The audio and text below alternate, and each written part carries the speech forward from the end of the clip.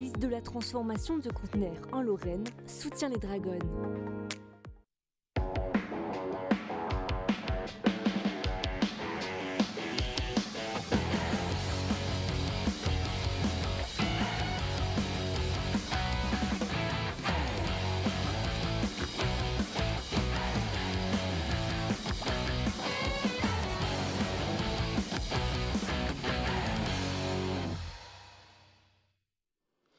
Metz Handball reçu 24 sur 24. Les Dragons terminent invaincus une nouvelle fois cette saison de Ligue But à Gaz Énergie. Une saison tout simplement inoubliable, tout comme cette dernière soirée aux arènes de Metz, riche en émotions.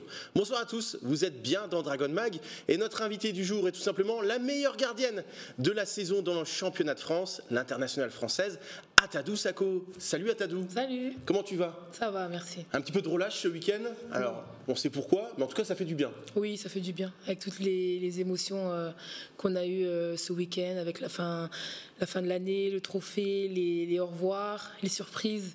Donc, ouais, ça fait un peu de bien de, se détendre. En plus, on a fait la caisse noire euh, ce week-end avec les filles. Donc, ouais, beaucoup, très détente, très chill et ça fait du bien. On reviendra notamment sur, sur les surprises. À tes côtés, Thibaut Pigeon. Salut mon Thibaut. Salut Arnaud, salut à tous. La forme aussi Toi aussi, t'es au repos, mais c'est pas grave. Comme d'habitude, pleine forme. Non, tout va bien. On profite.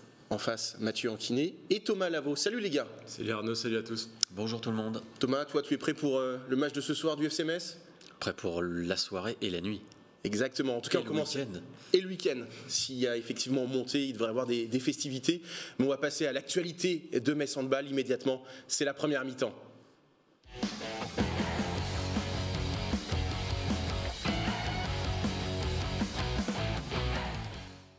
C'est vrai, à Tadou, que ce dernier match contre Chambray a été riche en émotions, mais sportivement, il était important de terminer par une belle victoire.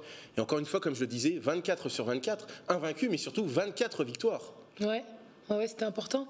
Euh, Manu, nous a, bien briefé. On savait que cinq journées avant la fin de la saison, on était, on était déjà championne. Mais voilà, il fallait, il fallait bien clôturer cette, cette magnifique saison. Il fallait pas qu'on la laisse euh, bah, être brouillée euh, bah, par une potentielle défaite. Et euh, ouais, ça nous tenait à cœur de bah, l'image qu'on a qu'on a véhiculée toute l'année, bah, la faire jusqu'au dernier match. C'était important de gagner ce match-là. Et jusqu'à la dernière seconde, même avec ce but incroyable euh, que tu as marqué, on va le revoir, euh, ce but, dans les conditions du direct. Allez, dernière minute, Mathieu, de cette saison de Ligue Butagaz Énergie. Oh, Tadou Sako Tu l'avais dit, elle a oh marqué C'est incroyable On l'avait annoncé, elle le ferait une fois dans la saison. Elle qui est remontée tant de fois au-delà du milieu de terrain. Et là, qui prend un but, mais pas grave. C'est symbolique. Elle vient de réaliser quelque chose qu'on ne voit jamais finalement. Elle est inscrire un but en contre-attaque quelque part. Ah, c'était les Champs-Élysées hein, pour, pour Tadou Sako. Elle peut danser, célébrer. Elle demande le ballon encore, elle veut y retourner. Regardez-moi ce but. Bon, il faut que tu nous expliques. Est-ce que c'était préparé lors du dernier euh, temps mort? Alors, pas du tout. euh, je me suis jamais imaginé qu'à ce moment-là, j'allais aller shooter. Euh, Bruna prend le ballon, elle va là où, où le jeu s'est arrêté avant le, temps mort. Et je la regarde, elle me regarde. Et je sais pas, je crois qu'on a une, une connexion. Et elle me fait ça. Vas-y. Je lui dis, je lui dis, tu me donnes la balle? Elle me dit, ouais, ouais, vas-y, va shooter, je te donne la balle. Je lui dis, c'est pas vrai, tu me blagues. Elle me dit, si, je te jure, je te donne la balle. Je dis, ok. Du coup, je me place et je me dis, bon, peut-être qu'elle va me donner la balle, mais je vais pas avoir l'occasion d'aller tirer. Elle dit à Chamila, en fait, de se décaler. Et du coup, le fait que Chamila se décale, elle ramène un défenseur devant elle.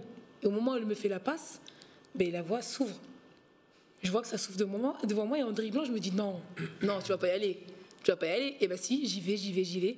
Et bah j'y suis allée et j'ai shooté quoi mais c'était pas préparé du tout. Je pense qu'en un regard, Bruna et moi, on, savait de quoi on parlait. Alors forcément, tu as déjà marqué des buts depuis euh, ton but justement, ça c'est un petit peu particulier. Première grosse émotion.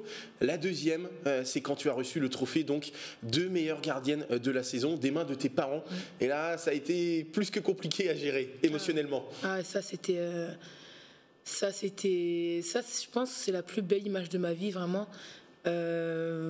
Aujourd'hui, je pense que je fais du handball pour ma famille, et notamment pour mon père et ma mère. Et euh, bah, bah, j'ai encore les larmes aux yeux, mais euh, cette image-là, c'est la plus belle de ma vie parce que je me suis jamais imaginé que mon père et ma mère, ils allaient se déplacer aussi loin pour venir me voir euh, pratiquer ce que je fais tous les jours.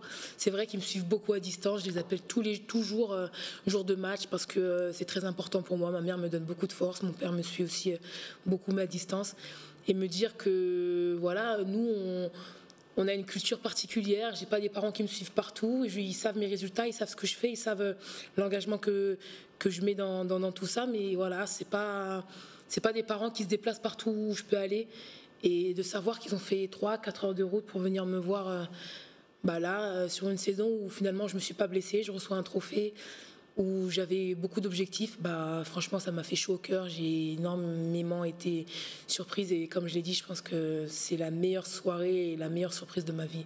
Thibaut, je te vois avec un petit peu l'œil humide. Euh, ça n'a pas été simple aussi pour toi, je présume, à gérer euh, cette, euh, ce protocole, ces cérémonies? Bah, c'est un petit peu toujours pareil. Euh, toutes les dernières sorties aux, arènes, toutes les saisons, on sait que c'est un mélange d'émotions parce qu'il y a d'abord euh, bah, le, match en, lui-même. Euh, sachant que cette année c'est encore différent. Les années précédentes, comme ça se jouait encore sur match aller-retour, il y avait encore un petit peu le stress sur le, résultat du match. Là, pour le coup, comme, on disait, le, seul enjeu c'était de rester invaincu. Sur la saison. Après, il euh, y a la remise du trophée où les émotions, bah, c'est génial, c'est super. Et puis, il bah, y a la cérémonie des, des, des au revoir qui, sont, euh, qui, est, qui, est, très très compliquée à gérer. Euh, bon, heureusement, après, c'est le président qui prend le micro et qui gère ça. Mais, euh, mais oui, forcément, c'est très très émouvant. Mathieu, qu'est-ce que tu retiens, toi, de cette dernière soirée aux arènes de Metz? Il y a encore un match hein, de Coupe de France, mais c'était la fin de la saison à domicile. Ouais, et on a eu un vrai match. Euh, certains auraient pu penser, ok, c'est le dernier match de la saison, on vient avec les pantoufles, on y va tranquille, on fait, euh, on fait notre petite rencontre. Après, on sait qu'il y a les trophées, les cérémonies. Euh, Chambray avait pas grand chose à, jouer dans l'absolu, si ce n'est améliorer un petit peu le, classement, mais le plus dur était fait puisqu'il y avait cette place qui, qui permettait de, briguer euh, l'Europe pour la saison prochaine. On pouvait se dire ça allait être simple. Non, ça, a été un vrai match de handball. Il y a eu une vraie opposition. Les deux équipes ont montré ce qu'elles savaient faire. Le public a répondu présent. On a eu une belle ambiance, euh, une belle affluence. Vraiment, tout le monde a, su se, se mettre au niveau de cette rencontre-là.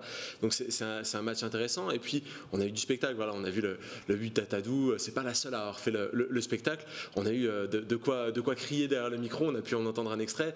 Voilà, c'est toujours appréciable de finir en, beauté quelque part à la maison, même s'il y a encore ce match. Mais ça, ce sera un match à l'extérieur. C'est pas les mêmes sentiments, c'est pas la même, la même ambiance. Mais il y a un trophée effectivement à jouer donc le, le 10 juin. Tu parles effectivement de cette fameuse roucoulette de Sarah Bouktit qui a fait entre guillemets, hein, on l'a pas fait exprès, le buzz sur Internet.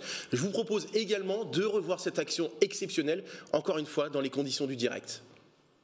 Voilà, et on va enchaîner peut-être sur le direct dans la foulée, parce que elle est là, elle le est bras là, est levé. Oh, la Tadoucho Le Atacho est là pour Sarah Bouktit. Oh ah là là là là La roucoulette merveilleuse de Sarah Bouktit Mais quelle fin de match, quelle fin de saison alors je sais pas si la régie a ce dernier, cette dernière roucoulette de Sarah Bouktit, mais elle était tout simplement délicieuse. Et ben la voilà, voilà. Quel pivot Quel pivot en France ou en Europe s'amuse à faire des roucoulettes J'en connais très peu, en tout cas j'en connais une, elle s'appelle Sarah Bouktit, aussi connue Arnaud sous le nom de... La boule de feu Exactement, il fallait le dire au moins une dernière fois cette saison. Et pour moi c'est la meilleure pivot de la saison, même si Paoletta Fopa est une très très grande joueuse. Alors Thomas, est-ce que je peux te remplacer à la radio avec euh, ma voix qui peut partir à tout moment? Alors attention de ne pas trop monter dans les aigus quand même parce qu'à un moment on le paye euh, un peu plus loin dans un peu plus loin dans la faut que ça vienne du ventre pas de la gorge enfin pour les, les émotions. que... voilà c'est ça. En tout cas la saison de, de Sarah Bouktit est tout simplement exceptionnelle et comme disait Mathieu réaliser une roucoulette comme ça de la part d'une pivot ça n'existe pas. Euh, le match d'un pivot, c'est généralement 60 minutes de hyper physique, euh, que ce soit en défense, que ce soit en attaque, vous avez constamment euh, un adversaire sur, sur le dos. Et puis, bah, à travers euh, cette roucoulette, mais à travers le, tir que l'on a vu en premier, là aussi, le tir croisé, bah, elle démontre aussi qu'elle a une technique qui lui permet de pouvoir assurer et de remporter facilement ses, ses 1 contre 1. C'est une joueuse complète. Euh, elle a peut-être progressé encore plus qu'on ne pouvait imaginer euh, cette, cette, saison. Elle était numéro 1 pour la première fois, titulaire. Et puis, euh, elle n'a jamais, vraiment flanché, en tout cas en balistiquement. Elle a pu avoir quelques pépins, mais ils ont été finalement très temporaires. Euh, ça a été, je pense, la Messine qui a le plus progressé encore cette saison. Et maintenant, elle est de niveau mondial. Je pense que maintenant, la question de sa sélection ou pas se pose même plus. Ça va, Tadou, on, on l'oublie. Sarah, c'est sa vraie première saison euh, comme pivot numéro 1 euh, de Metz Handball. Bien sûr. Ouais, Sarah, euh, elle a énormément progressé cette saison. Elle a beaucoup, beaucoup appris. Elle, euh, elle prend une autre dimension, clairement. Que ce soit euh, dans son statut dans l'équipe, que ce soit euh, sur ce qu'elle sait faire euh, techniquement, euh, intellectuellement euh, sur, le, sur le terrain. Euh, Sarah, pour moi, c'est vraiment une joueuse complète. Euh, Manu et Katia, ils ont, ils l'ont vraiment accompagnée dans, cette évolution-là pour qu'elle puisse arriver à, ce niveau-là. Et moi, je suis persuadée et sûre que ça, c'est pas, c'est pas son max. Parce qu'elle vient, elle vient juste de, entre guillemets, découvrir euh, ce que c'est que le monde professionnel, ce que c'est que, jouer tous les trois jours. Mais euh, je pense que c'est que le début d'un long et bon chemin pour Sarah, parce que c'est une vraie bonne joueuse, elle est fine, elle est, elle est technique, elle, sent, elle, sent, elle sent le jeu. Et euh, ouais, moi, je vraiment admiratif de, Sarah. Alors euh, sur cette fin de saison, même sur toute cette saison, peut-être le, coup de cœur, en tout cas peut-être le mien, euh, c'est Christina Jorgensen euh, qui a été époustouflante, euh, qui réalise des buts, des passes décisives, qui est, partout tout simplement. Euh, Thibaut qui a encore été phénoménal en début de match, elle, a tout fait euh, Christina. La reine Elle est- Jorgensen. Elle est partie très fort. Elle est partie très fort. On se demandait, euh, je crois qu'au bout de voilà, la moitié de la, la première mi-temps, elle était déjà à 5 buts. On s'est dit, si elle continue sur ces standards-là, ça, va être, euh, ça va être stratosphérique en termes de, de stats. Euh, bah vraiment, elle, elle mène le jeu, elle fait, elle fait briller les, les autres. Euh, je, pense que c'est vraiment ce, qui, ce, que, ce que le staff lui, lui demande aussi. Et c'est sûrement aussi pour ça qu'elle est, qu'elle est arrivée à Metz. Mais euh, on a l'impression que dès qu'elle touche le ballon, bah, elle, elle le bonifie en fait. C'est euh, voilà, il n'y a, y a rien à dire de, enfin pour moi en tout cas rien à dire de plus. Que- quelle joueuse. C'est vrai que euh, Mathieu, toi, tu as souvent parlé de, de Christina, c'est pour ça que je vais parler à, à Thomas. Euh, Christina Jorgensen, au poste de demi-centre, c'est pas forcément à la base son, son poste de prédilection, mais en tout cas, c'est vrai qu'elle réalise une première saison hors de son pays, tout simplement aussi incroyable. Puis surtout, il faut voir euh, après qui elle passait également. Méline Nocandi, euh, qui, euh, qui avait marqué, qui avait incarné ce poste, qui était, euh, la capitaine. Et Christina Jorgensen elle s'est sentie tout de suite à l'aise. Alors quand le, quand le collectif est rodé, euh, une joueuse, euh, une joueuse d'un d'un tel talent, euh, je dirais ça se fait ça se fait naturellement.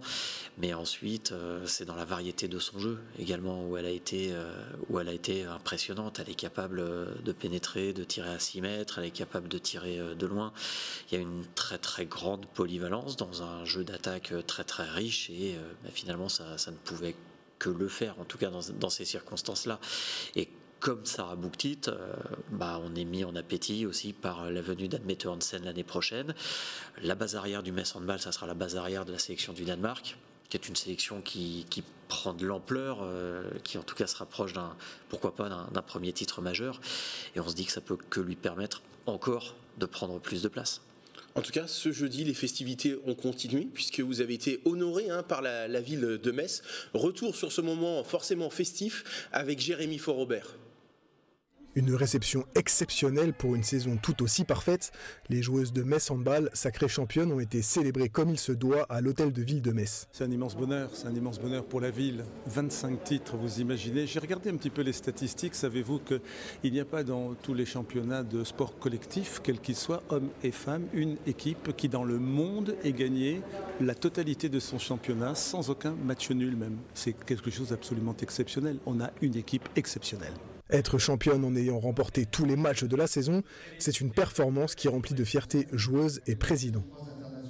Pour moi, c'est une très très belle saison pour nous parce qu'on jouait avec toutes les filles pour l'équipe et toutes les filles jouaient bien euh, dans la saison. Et oui, je suis juste très contente. On a un public qui est acquis à la cause et surtout quand on a malheureusement été éliminé de la Champions League, j'ai pas entendu un sifflet, les gens étaient derrière l'équipe, ont aidé les filles à, à se consoler. C'était énorme cette ferveur avec le public. Malgré toutes ces festivités, la saison n'est pas encore terminée.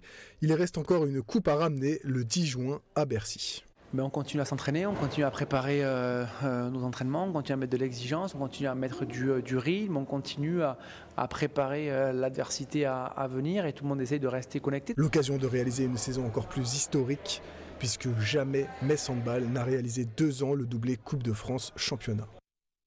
Alors comme je le disais à Tadou, c'est vrai que c'est un, moment hyper euh, festif. On est euh, ce vendredi euh, tous tournés vers le, vers le FC Metz. On en parlait un petit peu dans la loge, mais aujourd'hui c'est vrai qu'il y a une vraie appartenance. Beaucoup de supporters s'identifient vraiment à Metz Handball. Et je pense que vous l'avez ressenti aussi peut-être avec la ville de Metz, qui est très fière de Metz Handball justement. Oui, on, a senti tous ces gens qui, qui, nous entouraient, qui nous soutenaient tout au long de la saison. Le fait que la ville de Metz nous accueille hier, hier soir, ça, ça, nous a vraiment fait plaisir. Euh, on a reçu des petits cadeaux. Ils étaient vraiment, vraiment très fiers euh, du fait qu'on ait eu euh, ce 25e titre. Et oui, on le sent aussi dans les supporters. Comme je disais tout à l'heure à Thibaut, les arènes sont pleines tout le long de la saison. Avant, on arrivait à voir la différence entre un match de Ligue des Champions et un match de championnat. Et aujourd'hui, bah, même contre des équipes de bas de tableau en championnat de France, les arènes sont complètement, enfin, en partie rempli. Donc euh, oui, je pense qu'il y a beaucoup, beaucoup de gens qui, nous soutiennent et beaucoup de gens, euh, bah, je pense, sont, sont liés au Metz Handball. Alors on en parlera un peu plus la semaine prochaine, euh, mon cher Mathieu, mais c'est vrai qu'il y a encore cette finale de Coupe de France donc contre Paris 92. Donc encore un trophée à aller gagner contre une équipe qui ne va pas très fort et qui sera privée cette saison de Coupe d'Europe, hormis si elle gagne ce trophée il faut faire un beau rebond euh, pour euh, Paris 92, parce que là, la fin de saison a été euh, plus, délicate. Et attention aussi à Metz Handball à pas se laisser monter à la tête les célébrations, les au revoir, etc., le, break. On sait que c'est pas l'attitude de, de, que de se relâcher, mais là, c'est presque difficile de ne pas le faire un petit peu avec, euh, avec tout ça. On parlait tout à l'heure avec Atadou euh, de la cérémonie des au revoir et des choses comme ça. Forcément, ça, écarte le handball des, esprits, mais à mon avis, à l'entraînement, ça va reprendre très très fort cette semaine. Ça va y aller très dur, euh, connaissant, le, connaissant le staff, et il faudra aller chercher ce, titre parce que ce doublé championnat Coupe de France deux années de suite, ce serait encore une fois exceptionnel. Et on sait que Metz Handball, chaque année, aime bien aller chercher la petite stat supplémentaire qui fait que l'histoire s'écrit un peu plus. Donc on verra comment ça se passe du côté de Paris. il y a encore très belle page à écrire donc euh, ce 10 juin. on va se projeter un petit peu euh, sur la saison prochaine dans notre débat. C'est la deuxième mi-temps.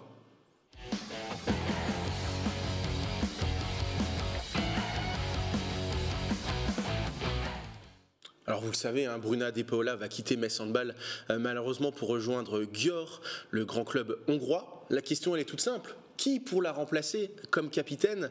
Alors je vous propose plus ou moins cinq noms. Louise Winterburgard, Atadou, Sarah Bouktit, mais également les, deux recrues, Anne Mette Hansen et Alina Grischels. Atadou, est-ce que c'est un trophée, pas un trophée, mais un brassard euh, qui pourrait euh, te faire plaisir ou tu, penses que ça pourrait être toi d'une première part? Et deuxièmement, est-ce que c'est quelque chose que tu as déjà eu par le passé, peut-être à Nice? Euh, non, j'ai jamais eu euh, ce statut de, capitaine, que ce soit à Nice ou que ce soit en sélection du Sénégal. Je sais qu'avec le Sénégal, on m'en avait déjà parlé, mais j'ai toujours dit que moi et ma personnalité, j'ai pas forcément d'avoir un, rôle où j'ai un brassard pour pouvoir faire ce que je fais. Je suis, du nature, je suis de nature à toujours aller vers les gens, à les aider, à essayer de les ramener vers l'avant. Donc, euh, avoir un statut comme capitaine, c'est pas. Euh, enfin, pour moi, c'est pas quelque chose que je recherche absolument. Après, euh, au-delà que ça me fasse plaisir, je voudrais que si, euh, si j'avais enfin, si on avait l'intention de me mettre capitaine, que je puisse servir l'équipe parce que finalement c'est ça, c'est pas mon plaisir à moi, etc. C'est, c'est qu'est-ce que moi je peux apporter en plus à l'équipe parce que finalement une capitaine c'est aussi ça. Quand ça va bien, quand ça va moins bien, euh, la valeur ajoutée que je peux, que, que, que, je vais pouvoir, euh, que je vais pouvoir apporter aussi à cette, à cette équipe qui l'année prochaine sera aussi encore une fois renouvelée grandement. Donc, donc voilà, c'est tout ça, c'est, ces questions-là. Est-ce que si jamais je suis capitaine, je vais pouvoir servir l'équipe comme il le faut? Bien sûr. Après, c'est vrai que sur le terrain, on connaît, on voit ton énergie, euh, tu apportes beaucoup de choses, mais c'est vrai qu'il y a beaucoup de choses qui rentrent en compte et pas seulement forcément l'aspect euh, que sportif. Euh, Thibaut, ton avis sur ce sujet? Euh, c'est délicat pour moi déjà de, une, recrue qui arrive tout de suite euh, comme tout de suite et voilà il met de côté les, recrues non je mets pas de côté non non c'est pas ça mais euh, c'est compliqué déjà d'arriver d'un autre pays parlant pas forcément la langue je ne sais pas si ça sera une barrière pour le staff ou mais voilà. J'ai mis ces deux joueuses tout simplement parce que Anne Hansen est capitaine, à Georg et Alina est capitaine à Dortmund. Après, les trois dragons. Ah, il va pas se mouiller. les, trois, les trois dragons sont, sont légitimes. Euh, Atadou, comme elle, Atadou était capitaine quand euh, Bruna n'était pas là cette, euh, cette saison, euh, mais effectivement, Atadou, euh, avec ce qu'elle dégage, avec, euh, le- elle a déjà une emprise, enfin une emprise, je me, je me comprends sur, sur l'équipe. Quand elle est, quand c'est Camille qui est dans les buts et Atadou qui est sur le banc, on la voit, elle est tout le temps debout à donner des conseils, des consignes et tout, vraiment. Donc euh, Sa- Sarah, ça pourrait justement, on parlait qu'elle n'avait pas encore atteint son plafond, qu'elle pouvait encore, euh, bah, ça peut lui permettre peut-être de franchir encore un cap, peut-être. L'une des trois, en tout cas, moi je, je serais, euh, je serais content que ce soit l'une de ces trois-là, en tout cas. Thomas? Je vais faire un parallèle avec, euh, avec le FCMS. Le capitaine du FCMS, c'est Mathieu Hudol. Mais pour moi, le réel capitaine, il porte pas le brassard, c'est Ismaël Traoré, parce que c'est quelqu'un dont la nature fait que s'il y a un message à faire passer, à l'échelle du groupe ou même individuellement, il va le faire naturellement. Donc finalement, pour moi, un capitaine, c'est ça.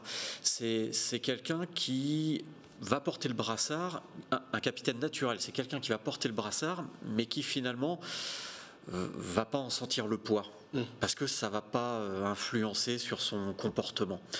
Euh, parce que c'est quelqu'un qui, même s'il ne le portait pas, euh, emmènerait les autres euh, avec lui, pousserait les, autres avec lui. Voilà. C'est dès lors que si vous portez le brassard, vous vous dites ah bah alors faut que je me comporte comme ça, faut que je fasse ceci.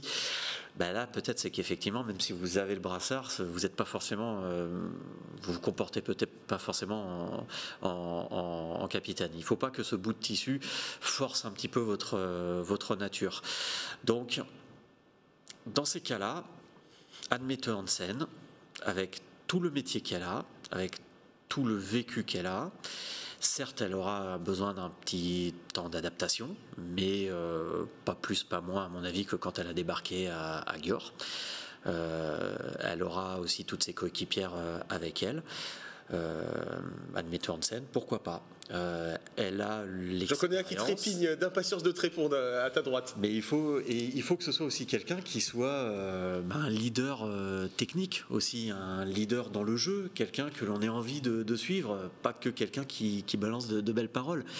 Et je pense que Admetteur Hansen, même si elle n'a pas de vécu au Metz Handball, euh, pourquoi pas Mathieu Eh bien, je vais faire un parallèle avec le FCMS. Au FCMS, le capitaine, c'est Mathieu Hudol. Et Mathieu Hudol, c'est un enfant du club, c'est un, enfant- c'est un joueur qui a grandi, qui a, qui a une vraie identité avec ce club-là, etc. Et Metz Handball, c'est un club qui a une vraie identité au-delà du sportif, c'est un, un état d'esprit, c'est une ambiance. Et pour moi, il faut quelqu'un qui ait pleinement cet état d'esprit, cette ambiance, cet esprit euh, Metz Handball, comme on peut le qualifier parfois euh, en, en- en elle. Et eh bien, euh, j'aurais tendance à privilégier effectivement une des euh, joueuses qui est déjà à Handball, qui a déjà emmagasiné ça. Parce qu'on néglige aussi peut-être euh, Bruna de Paola, la capacité d'adaptation qu'elle a eue sur sa première saison, à quel point elle a embrassé cet état d'esprit euh, cette, cette vision euh, d'esprit du club, ce côté familial, ce côté euh, coopératif, et les cho- toutes les choses qui vont, qui vont autour de ça, pour devenir la capitaine exemplaire. L'année dernière, nos collègues du, du Républicain Lorrain avaient fait un petit sondage et les internautes avaient voté 44% euh, pour Louise Burgard et Manu avait expliqué que, attention, Louise Burgard, effectivement, sur le terrain, elle- c'est un, leader, etc., mais qu'il y avait beaucoup d'autres facteurs à prendre en compte. Louise Burgard nous disait encore la semaine dernière qu'au niveau du français, parfois, c'était compliqué pour partager ses émotions, son ressenti, donc ça peut aussi avoir une influence. Eh bien, Brianna Paola, elle a embrassé tout ce qui était balle, aussi bien sur le terrain que dans le vestiaire, pour être euh, cette leader-là. Et Bruna, elle avait été votée à 8%. Je pense qu'aujourd'hui, si on doit refaire le vote, euh, Bruna de Paola, elle a totalement conquis le, cœur de tout le monde. Et il faut pour moi quelqu'un qui a cette dimension-là, cet aspect précis. Et c'est pour ça que d'office, je vais écarter euh, les, deux arrivants parce qu'il faut leur laisser le temps euh, de comprendre ce que c'est Metz Handball. Parce que parfois, quand on vient d'un autre club, on n'a pas forcément retrouvé les, mêmes, dimensions. Parfois, c'est beaucoup plus du sportif que cet esprit de tout ce qu'il y a autour. C'est bénévole qu'on a vu pour remettre des, trophées à la fin, etc. C'est tout un ensemble. Pour moi, il faut aller privilégier sur une joueuse qui est déjà présente et qui a déjà un, un très bon état d'esprit. Alors naturellement, Sarah Bouktit, qui est là depuis longtemps, qui a grandi avec mes handball, etc., c'est peut-être bien pour elle, mais peut-être qu'elle est encore un peu jeune pour en- endosser cette responsabilité supplémentaire. Tu sais qu'elle aime les Elle a responsabilités. bien sûr, elle a déjà de grosses responsabilités en tant que pivot euh, numéro 1 et elle, va- elle nous montre à chaque fois qu'elle rentre sur le terrain à quel point elle les, elle les remplit bien. Peut-être que ce sera pour elle, peut-être que ce sera pour elle dans quelques saisons, je ne sais pas, mais en tout cas, une des trois euh, déjà, euh, sous le maillot jaune et bleu, ce serait, ce serait très bien pour moi. On n'est pas à l'abri d'une surprise parce que je pense que, que l'été dernier, personne n'imaginait Bruna De Paola. On va pas trahir de secret, mais c'est vrai que quand Manu a dit que c'était Bruna, c'est vrai que dans l'organigramme de Metz Handball, on a écarquillé les yeux en grand. Et aujourd'hui, comme tu l'as dit, je me tourne vers toi, Tadou, c'est vrai que Bruna, elle fait l'unanimité comme capitaine. oui, bien sûr. c'est vrai qu'on bah, peut-être que vous vous êtes jamais dit que Bruna pouvait être capitaine, mais euh, c'est une fille qui a une capacité d'adaptation euh, énorme. Euh, je pense qu'elle porte balle dans son cœur dès le premier jour où elle est arrivée. elle, a su, elle a su vraiment cerner dans quel cadre elle est arrivée et aujourd'hui je pense que c'est pour ça que Manu lui a donné cette responsabilité là elle est proche avec tout le monde quand Manu dit qu'il y, a beaucoup d'aspects à prendre en compte bien sûr il y a il y a l'aspect sportif, il y a la relation qu'elle va avoir avec les autres, il y a la relation qu'elle va avoir avec Manu aussi. Il y a cette capacité qu'elle va avoir à dire ce qu'elle pense ou à trouver les bons mots au bon moment pour pouvoir euh, bah, euh, relancer tout le monde quand ça va ou quand ça va pas. Aujourd'hui, Bruna, elle est proche de tout le monde. Bruna, euh, elle a la joie de vivre. Bruna, c'est un exemple à l'entraînement. Bruna, c'est un exemple en match.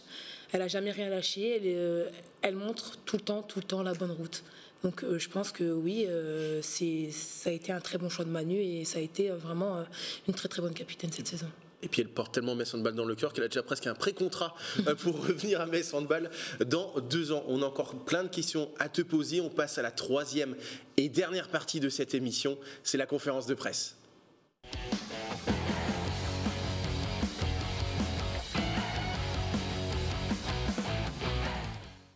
Est-ce qu'on peut dire aujourd'hui que c'est ta saison la, plus aboutie euh, de ta carrière? Tu as fait une saison pleine du début à la fin, tu as connu euh, les joies de l'équipe de France. Donc c'est vrai, comme euh, c'est écrit derrière moi, une saison majuscule. Oui, bien sûr. cette saison, c'est une très très grosse saison. Depuis que je suis à Metz en bas, j'avais malheureusement pas eu l'occasion de, de, finir le championnat. je me rappelle de ma première saison où je me fais une déchirure au mollet la veille de la finale contre Brest. Je me rappelle l'année dernière où je me fais les ligaments croisés. C'est très très compliqué. Où je me dis, bah, pas trois fois en fait. Pas trois fois, parce que deux, c'est déjà beaucoup trop. Euh, j'ai essayé de, revenir très vite et très très fort de mes, de mes ligaments croisés. Il y a certaines choses que, que j'ai changées dans, dans, ma façon de faire, que j'ai changé aussi dans, dans, mon quotidien. Et euh, c'était très important pour moi cette saison de, de revenir très fort. J'étais persuadée d'une chose, c'était que avec ma volonté, je, savais que j'allais revenir très très fort. Et tu pensais revenir encore plus forte euh, que la saison passée, parce que c'est le cas. Aujourd'hui, tu as des stats, des stats pardon, tout simplement incroyables. Régulièrement avec Mathieu, on dit voilà, plus de 15 arrêts par match, ce n'est pas rien. Oui, oui, j'étais persuadée parce que c'était ma volonté. C'était vraiment euh, l'axe sur lequel je me suis vraiment penchée cette saison. Euh, il y a beaucoup de choses que j'ai gommées aussi, peut-être qui m'empêchaient d'être très performante l'année dernière. Mes croisés m'ont fait prendre conscience de beaucoup, beaucoup, beaucoup de choses. Et je pense que c'est ce qui a fait euh, la différence cette saison. Euh, je suis arrivée sur chaque match en me disant euh, joue, joue, joue, joue, joue, fais ce que tu peux et, et on verra à la fin. Et je pense que c'est ce qui explique aujourd'hui le nombre d'arrêts que je fais, les pourcentages que je fais aussi. je m'investis beaucoup. J'essaye de beaucoup travailler avec Manu, j'essaye d'apporter quelque chose aussi avec, euh, avec ma défense, parce que je sais qu'avec ma défense, je peux être beaucoup plus performante. Donc euh, oui, il y a beaucoup de choses qui ont changé, euh, mais il y a une seule chose qui est vraiment vraie, c'est que j'étais vraiment, vraiment déterminée à revenir très, très fort après mes croisés. Thibaut, question pour Atadou bah, pas, vraiment, pas vraiment une question, du coup, tu as attendu l'équipe de France. Euh, pendant trois ans, je crois, après euh, ta dernière euh, sélection avec le Sénégal. Ça y est, tu l'as intégré. Comment ça s'est passé justement tes premiers pas avec le groupe d'Olivier Krumbols Est-ce que l'accueil qui, t'a été réservé? Et est-ce que tu, bah, tu, te projettes logiquement maintenant, je pense, vers les JO Qu'est-ce que ça représente pour toi?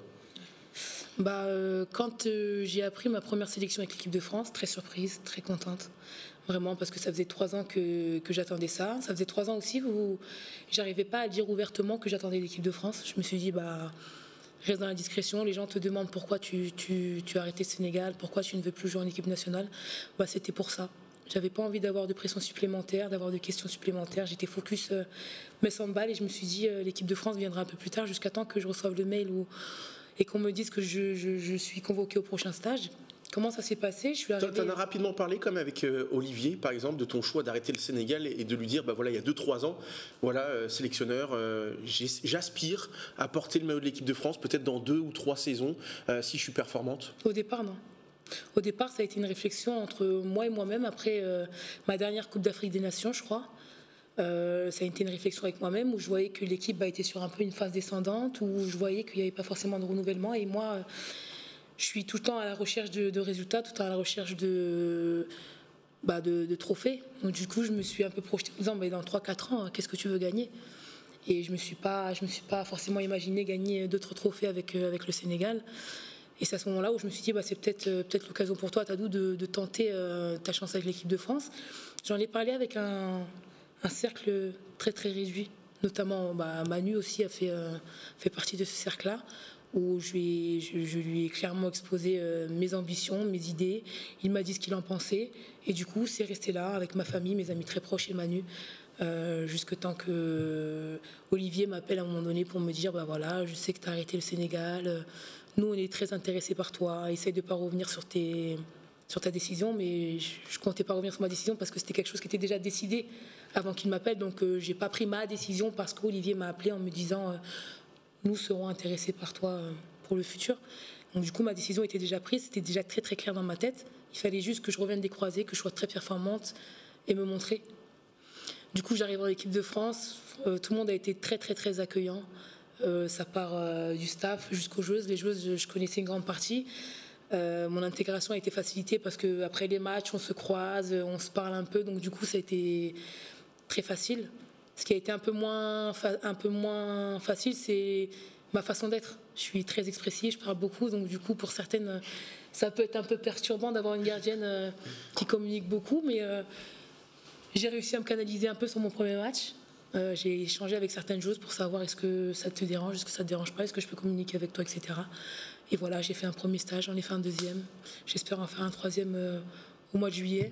Mais en tout cas, ça s'est très bien passé et vraiment, ça, aussi une, ça fait partie d'une de mes fiertés aussi. Avant de vous donner la parole, messieurs, je rebondis quand même sur la, question de, de Thibaut. Euh, il y a les Jeux Olympiques, effectivement, dans, dans un an. Au poste de gardienne, il y a embouteillage, si tu me permets cette expression, avec euh, Laura Gloser, Cléopâtre Darleux, Camille Depuisé. Euh, pour toi, à quoi ça va se, jouer? Est-ce que ça va être le vécu, la forme de la saison, l'identité un petit peu de la personne, l'attitude, je veux dire? Bah, ce que je sais aujourd'hui, c'est que toutes les concessions que j'ai fait euh, en amont, c'est parce que je suis focus euh, Jeux Olympiques 2024. Vraiment, ça, c'est c'est l'objectif de ma carrière, en tout cas, ma carrière internationale. Les JO 2024, c'est vraiment l'endroit là. euh, si je regarde devant, c'est vraiment l'endroit où je vais aller. Et euh, bien sûr qu'il y a un embouteillage. Aujourd'hui, il y a beaucoup de bonnes gardiennes françaises, mais ça va passer par par des résultats en club, ça va passer par des résultats en sélection aussi, parce qu'il y aura beaucoup de matchs amicaux. Euh, je ne sais pas comment ça va se décanter tout ça, à Olivier de faire ses choix, mais euh, ce qui est sûr, c'est que je serai déterminée et j'espère vraiment euh, arriver à mes fins. Est-ce que tu connais la date de la finale des Jeux Olympiques?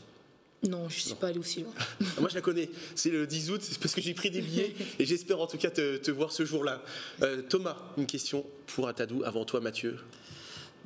Tu un, profil de carrière euh, assez, euh, assez à part. Euh, Il y a certaines choses voilà, qui sortent du centre de formation, qui, Sarah Bouktit, euh, voilà, elle a fait le centre de formation, euh, elle a su s'imposer euh, tout de suite, tout de suite jouer la Ligue des Champions et tout.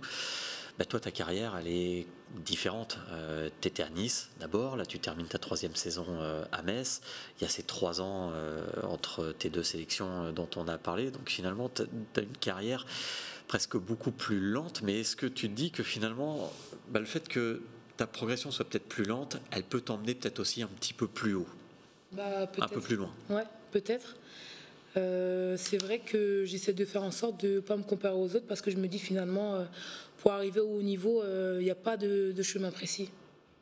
En vérité, il n'y a pas de chemin précis, il n'y a pas un chemin qui te dit il faut que tu empruntes ce chemin-là, ce chemin-là pour arriver là. Finalement, je suis la preuve que demain, si on veut jouer en professionnel, on n'est peut-être pas forcément passé on n'est pas peut-être pas forcément obligé de passer par un centre de formation, on n'est peut-être pas obligé euh, d'aller dans tel ou tel club pour pouvoir jouer à haut niveau. Et euh, bah, moi, dans, tout ce que j'ai vécu, je me suis toujours dit, euh, bah, c'est pas grave, finalement, si tu peux pas emprunter cette route-là, essaye d'emprunter cette route-là. Parce que finalement, ton objectif, il est là, et peu importe la route, euh, peu importe la route, ton objectif c'est juste d'y aller en fait.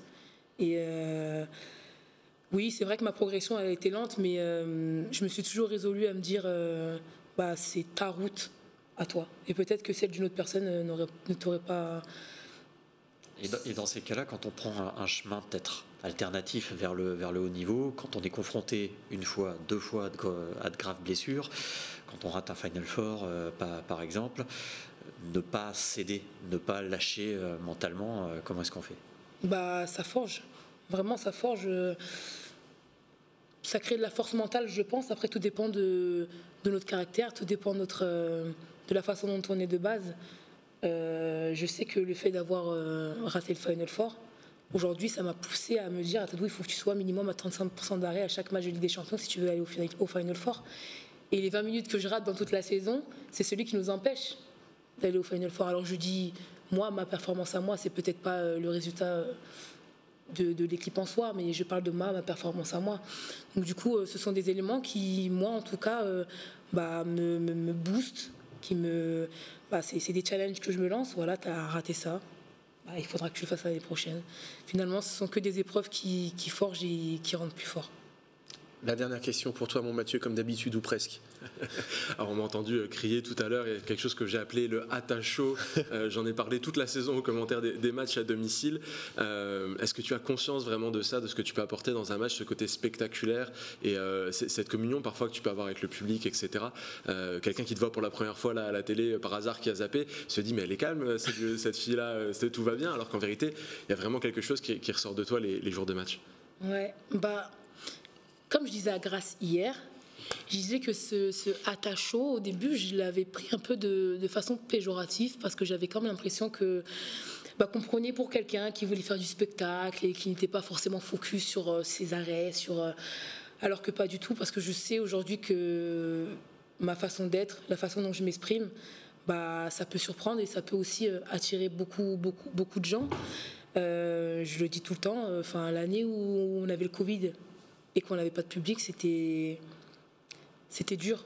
C'était dur pour moi parce que j'ai besoin de ça, j'ai besoin d'harmonie avec le public, j'ai besoin que Thibaut euh, crie euh, Ah, ici, ici c'est mes balles, j'ai besoin de bruit, j'ai besoin de, ben, j'ai besoin de, sentir qu'il y a des gens autour de moi. Et euh, enfin, je veux dire, quand je vais vers le public et je demande à faire du bruit, quand je lève le poing, quand je crie, mais tout ça, c'est pas du tout calculé, c'est juste que je suis dans l'euphorie du truc et que j'ai besoin de ça en fait pour pouvoir vivre à 100% ces émotions euh, sur le terrain. Merci en tout cas à Tadou d'être venu euh, sur ce plateau, c'est toujours un plaisir. Merci à vous trois également. Il reste deux Dragon Mag hein, pour finir euh, la saison, le 9 et le 16 juin avec la Coupe de France en ligne de mire. On se verra la semaine prochaine tout simplement le président euh, Thierry Weisman. D'ici là, portez-vous bien et évidemment, bye bye.